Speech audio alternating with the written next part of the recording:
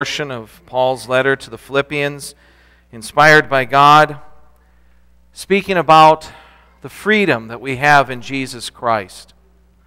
The freedom to live and to hold on to a life worth living. The Apostle Paul picks up here in verse 7 as he follows a section in which he talks about all the things as he looks back in his life that were worthless, that did not accomplish anything and here says, But whatever were gains to me, I now consider loss for the sake of Christ. What is more, I consider everything a loss because of the surpassing worth of knowing Christ Jesus my Lord, for whose sake I have lost all things. I consider them garbage that I may gain Christ and be found in him, not having a righteousness of my own that comes from the law but that which is through faith in Christ, the righteousness that comes from God on the basis of faith. I want to know Christ. Yes, to know the power of his resurrection and participation in his sufferings, becoming like him in his death, and so somehow attaining the resurrection from the dead.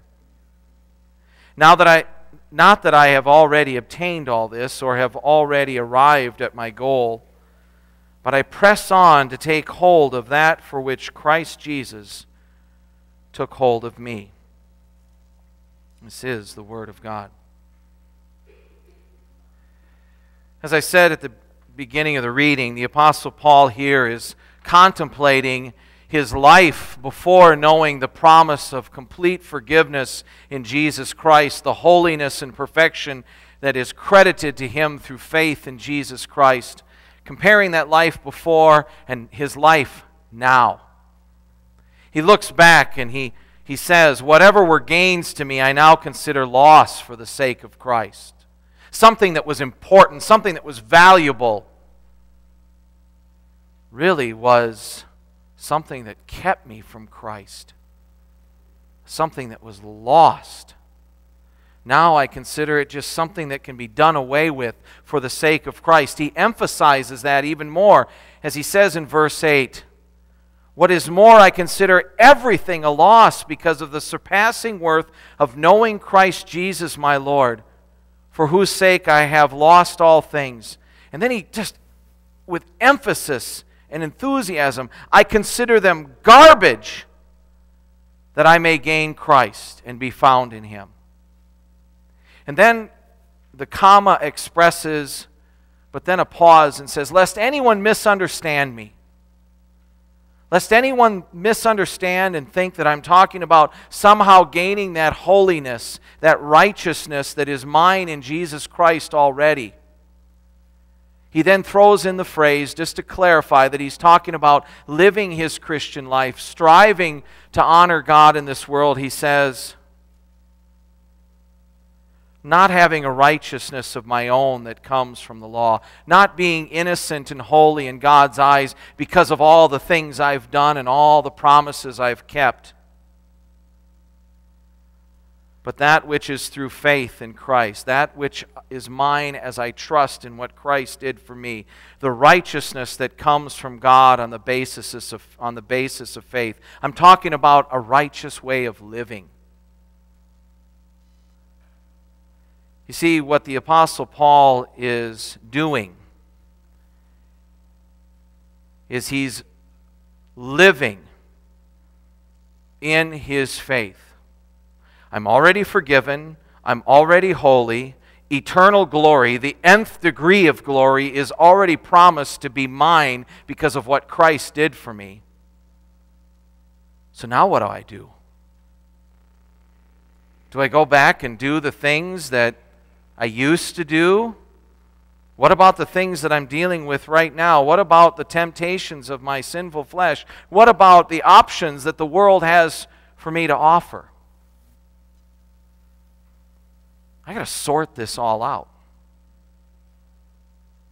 You see, that's what we as Christians, that's what Christians throughout the centuries, that's what all people who trust in Jesus Christ, when they take a look at their life and they're grabbing onto life, they now know what's valuable. They know what they can trust in. They know it is the Lord. They know what the Lord has done for them. And now they've got to sort out how they take that truth that they trust in and apply it to their life. And it is like sorting things out. The Apostle Paul makes references that something that I used to think was valuable, now I see it as garbage. And conversely, perhaps something that he thought was literally something that he thought was worthless, namely the message of Jesus Christ. He thought not only was it worthless, but he thought it was dangerous. Now he considers it to be of the greatest value to him. Sorting out the garbage from what has true value, sorting out in our lives what should be kept and what should be tossed. That's what Christians do. I don't have a physical image or picture to show you, but I can tell you a little story. Couple weeks ago, when I was back taking care of my mom's house, in the closet in my old bedroom were two cardboard boxes that were filled with stuff, let's see, probably from around anywhere from the years 1978 to about 1985 or so. There was all sorts of stuff in those boxes, two boxes. And when my wife, Leslie, pulled it out of the closet, because we were doing this to the whole house, she looked at it and she immediately put it, she goes, You got to sort this stuff out. And I found the boxes were filled with all sorts of things. There were like ticket stubs. To, or there was a, actually, there was a, if I remember right, one example, there was a program from a track meet in Iowa from my high school days. And there were all sorts of things. And I looked at it, and for some reason, long, long time ago, I thought it was of value and I put it in that box and I kept it. I took a picture of a couple things, namely my artwork that my kids like to see because they just go, Dad, you have absolutely no talent. You never did, and you don't have any talent now with artwork. And I found all sorts of stuff that at one time I thought was valuable,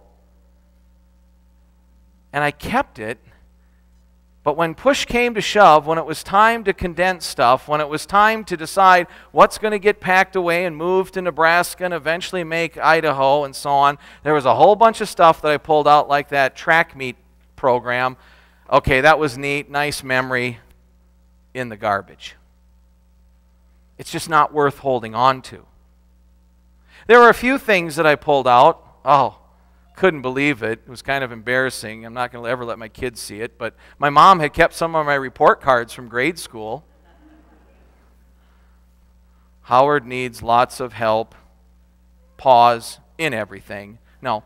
Um, all sorts of things. And yeah, that was maybe worth keeping. Oh, and then there were some precious things. I found some snapshots that I hadn't seen in years of one particular snapshot of Leslie and I, just before we went out on our first formal dress up, go out to eat date. That was kind of fun. I secretly snuck that one into my pocket and then gave it to her when I got home. You see, there's some things that are of value, and there's some things that at one time you think is valuable, but when you look at it from a new light or when you look at it from a different perspective, you go, it's just not worth holding on to. I think all of us can see what Paul is talking about when he looked at, you know, all those things I did before I trusted in Jesus for my perfection, all those things when I was trusting in myself, all those rules, all those little habits, all those things that I was taught as a Pharisee I had to do to somehow earn God's pleasure. If they don't truly glorify God, if they don't truly help my neighbor, what I used to think was valuable is now garbage. And what I used to think was garbage, like taking time to be patient with someone. Being like Christ, who the Pharisee said, I can't believe he's hanging out with those people to tell them about his love. They're the disgusting people who aren't good enough for us. What I used to think was garbage, now I hold as precious because I now see what Christ has done for me.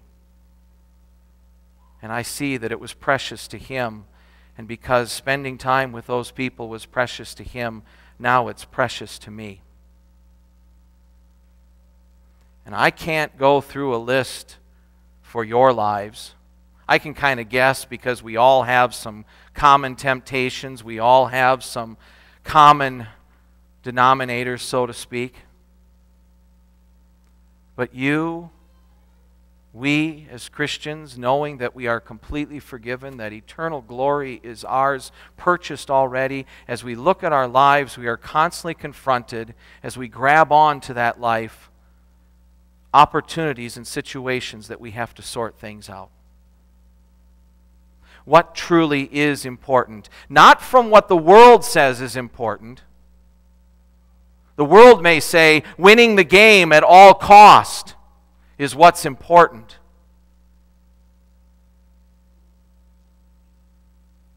A Christian says using my skills and abilities to my nth degree for the glory of God has value, but cheating, lying, and striving to harm someone else has no place in my life.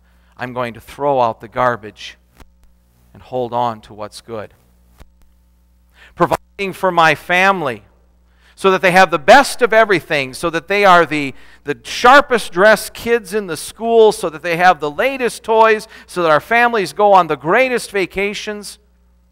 That's what's important. Well, maybe bits and pieces of that can be accomplished, but truly what's important first and foremost is that my children know who Jesus is that they know what He has done for them, and that they are trained and equipped by me and my fellow Christians to boldly confess their faith, honoring God and witnessing that truth to others, not only with their words, but also with their actions. Saving as many pennies, dimes, dollars, and municipal bonds as possible to make sure that my retirement account, that is first and foremost in my life. And anything that would dare get in the way of that needs to go. But now, as I think about what Christ has given me and how he gave himself for me, first of all, budgeting a line item that says, My gift to all of a sudden becomes valuable. And putting those other things first are garbage.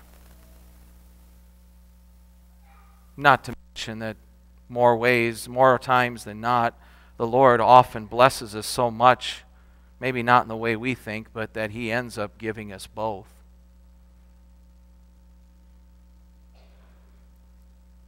What's important?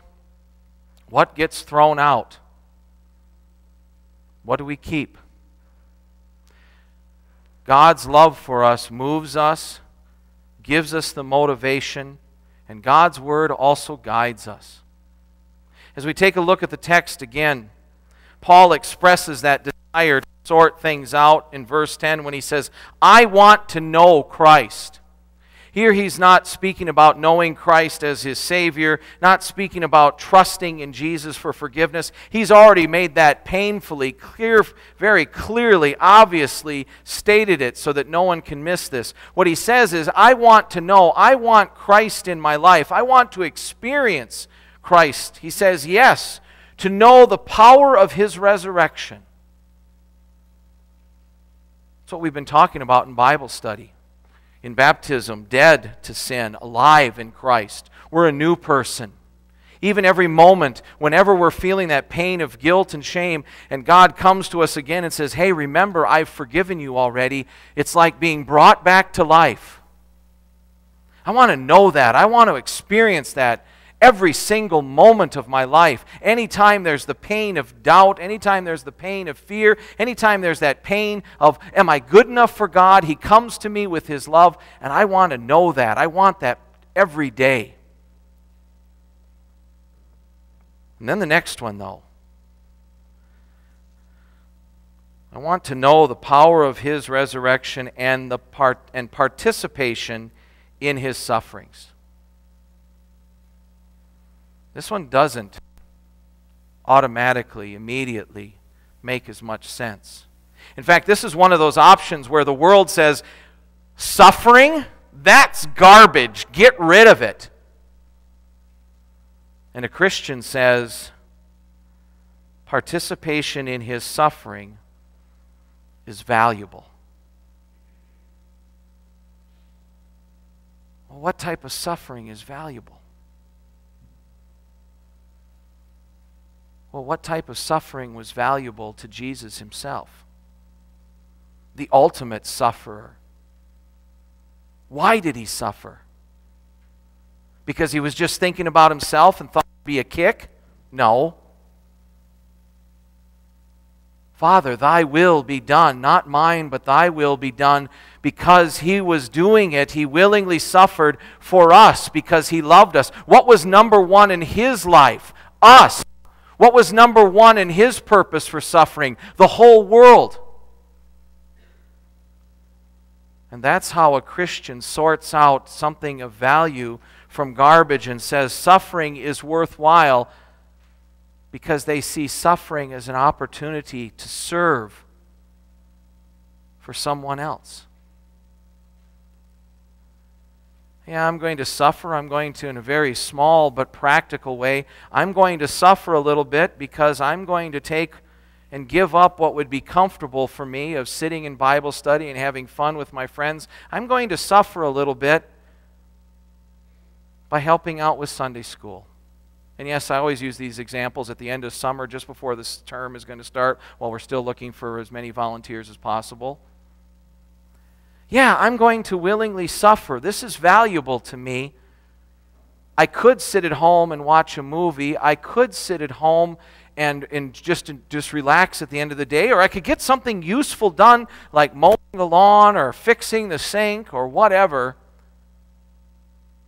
But I'm going to suffer with the reality that I'm just going to have to find other times to do that. It needs to be done because I'm taking time right now to come to church. I'm taking time to sit down and read my Bible. I'm taking time to log in online and join in Tuesday night Bible study. I'm taking time maybe to go out and to visit my neighbor who's struggling and tell them about Jesus. The world would say, throw that out. Why inconvenience yourself? Why put make your life more difficult? Why suffer in that way? But we as Christians desire to participate in such suffering as we are moved and desire to love others as Christ has loved us. Becoming like Him in His death giving our all, giving our focus, giving our entire being to God's will in our life, to the glory of God's name in everything we do, for the sake of others. Now, if any of you are feeling guilty at this moment because you know, Pastor's right, but I haven't really done very good at that. I haven't really attained it to the level that I'd like to attain it.